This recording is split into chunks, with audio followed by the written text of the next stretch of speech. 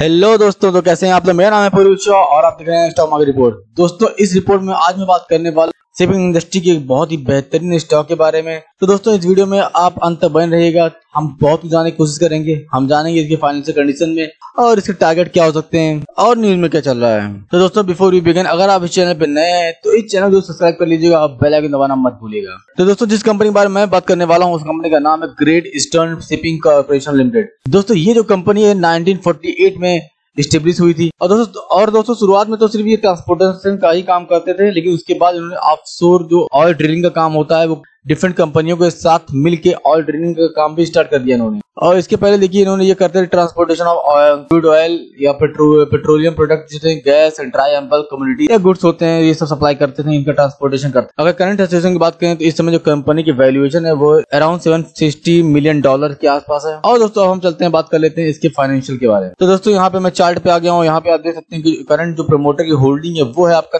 Thirty percent के आसपास। और जो पब्लिक की होल्डिंग है, वो है ट्वेंटी सेवन के आसपास। और अगर यहाँ पे देखेंगे तो एफआईआई और डीआईआई की होल्डिंग भी काफ़ी सिग्निफिकेंट अमाउंट में है। और यहाँ पे सबसे अच्छी बात जो मुझे यहाँ पे लगी कि यहाँ पे कोई भी जो स्टॉक कोई भी शेयर जो यहाँ पे प्लेज नहीं है। अक्सर कंपनियाँ जो है अपने कंपनी को एक्सपेंड करने कई बार जो है अपने जो प्रमोटर्स की होल्डिंग होती है, उसको प्लेज कर देते हैं। लेकिन इस कंपनी में देखा गया है कि ये काफ़ी स्मूथ चल रही है और बहुत ही बेहतरीन परफॉर्मेंस कर रही है। तो दोस्तों, अब हम देख सकते हैं इनका कितना रेवेन्यू जनरेट कर रहे हैं। तो यहाँ पे आप देख सकते हैं, यहाँ रेवेन्यू की बात करें तो रेवेन्यू इनका देखिए दो हज़ार सत्रह से लेकर दो हज़ार बीस तक कंटिन्यूस ये बढ़ता ही गया है। ये देखिए और दो हज़ार इक्कीस में थोड़ा सा कम हुआ है। अगर मैं बात करूँ अभी मार्च क्वार्टर की तो थोड़ा सा कम हुआ है। कोविड की वजह से जो है ट्रांसपोर्टेशन जितने काम उनकी जो कंपनियाँ थी उनको बहुत ही ज़्यादा इफ़ेक्ट हुआ था। तो दोस्तों अब हम बात कर लेते हैं इसकी डेट टू इक्विटी रेशियो के बारे में। यहाँ पे आप देख, देख सकते हैं कि जो डेट टू इक्विटी रेशियो है दो हज़ार सत्रह से लेके कंटिन्यूस 2021 तक घटा है। कहा 2017 में ये 0.82 के आसपास था इस समय 0.57 के आसपास। तो दोस्तों ये काफ़ी अच्छी बात है कि कंपनी डेट बहुत ही कंपनी के पास बहुत ही कम डेट है, ना के बराबर डेट है। अगर आपको डेट टू इक्विटी रेशियो के बारे में नहीं पता तो मैं बता दूँ कि दोस्तों जब भी डेट टू इक्विटी रेशियो जो है वन से लेस देन होता है तो ये जो है कंपनी बहुत अच्छी मानी जाती है, क्योंकि उसके पास डेट जो है बहुत कम होता है। और अगर ये वन से ज़्यादा होती है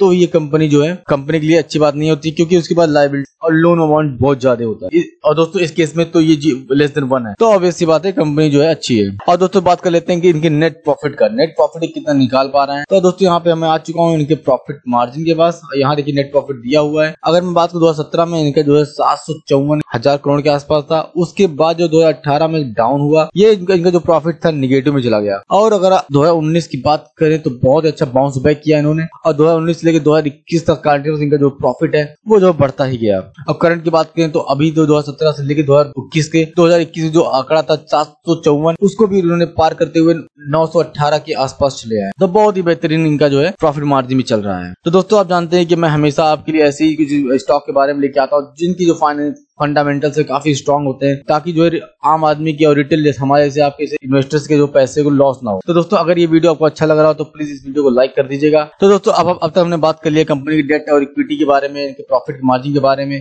और रेवेन्यू जनरेट कर रही है इसके बारे में। तो दोस्तों, और अब बात कर लेते हैं कि कंपनी की जो होल्डिंग्स है, वो किसके किसके पास है। आप यहाँ पे देख सकते हैं जो, ये जो कंपनी के ओनर्स हैं, रवि सेठ और भारत इन दोनों के पास लगभग ट्वेंटी टू परसेंट होल्डिंग है। और अगर मैं बात करूँ H C asset management company की, इनके पास जो होल्डिंग है वो है सेवन पॉइंट टू थ्री और यहाँ पे S fund management private limited की है फाइव परसेंट के आसपास। आईसीआईसी प्रोडेंशियल की जो एसेट मैनेजमेंट कंपनी है वो है फाइव पॉइंट टू टू तो यहाँ पे देख सकते हैं कि काफ़ी अच्छे इन्वेस्टर्स जो है यहाँ पे लगे हुए हैं। कहा एच एफ़ सी और एस बी आई और आईसीआई से इतने बेहतरीन जो एसेट मैनेजमेंट कंपनियाँ हैं, इसमें अपने अपने होल्डिंग जो है मेंटेन किए हुए हैं। तो दोस्तों, अब हम बात कर लेते हैं इनके फाइनेंशियल ट्रेंड के बारे में। जैसा कि मैंने दोस्तों बात किया कि इनकी जो प्रॉफिट था दो हज़ार अठारह में निगेटिव में गया था, उसके बाद कंटिन्यूस बढ़ा था। लेकिन अगर मैं रेवेन्यू की बात करूँ रेवेन्यू भी इनका इंक्रीज हुआ था, लेकिन अगर मैं बात करूँ दो हज़ार इक्कीस की तो थोड़ा सा डाउन हुआ था। जैसा कि मैंने आपको पहले बता तो अब हम बात कर लेते हैं दोस्तों, ये कंपनी कुछ न्यूज़ के बारे में क्या इस समय जो है न्यूज़ चल रहा है। तो दोस्तों, यहाँ पे मैं आ चुका हूँ बिज़नेस स्टैंडर्ड के आर्टिकल पे, और यहाँ पे आप देख सकते हैं कि Great Eastern Shipping company acquire second hand supramax bulk carrier Jag Rajiv तो दोस्तों ये जो दोस्तों, इन्होंने ये एक सेकेंड हैंड इनके पास एक शिप थी, जिसका नाम था जैक रजीव जो कि जापानीज थी, और जिसको जिसको इन्होंने बाय किया है। और दोस्तों तो करंट सिचुएशन की बात करें तो इनके पास इस समय जो है फोर्टी सेवन के आसपास जो है वेसल्स हैं।